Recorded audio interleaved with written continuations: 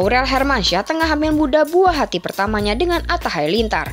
Baru-baru ini Aurel pun sempat mengalami pendarahan hingga harus beristirahat total di rumah.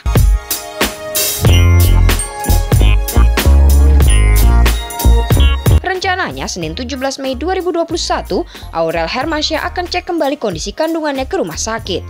Selain ditemani suaminya Atta Halilintar, rencananya Krisdayanti pun akan menemaninya. Atta Halilintar mengaku tidak tega melihat sang istri kesakitan dan tidak berdaya. Ia pun berharap tidak ada hal yang membuat Putri Anang Hermansyah dan Krisdayanti ini stres.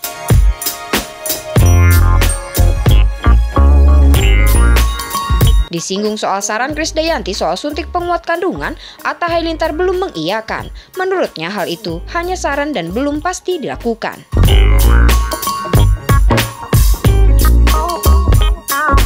Menurut Atta Halilintar, Aurel Hermansyah hanya butuh istirahat ekstra dan tidak boleh terlalu lelah beraktivitas, sebab saat ini ia sudah menanggung dua nyawa di tubuhnya.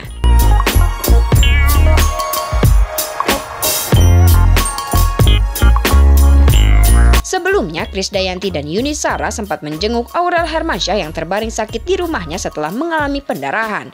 Di sana, Aurel juga dinasehati Atta Halilintar untuk tidak lagi joget-joget TikTok.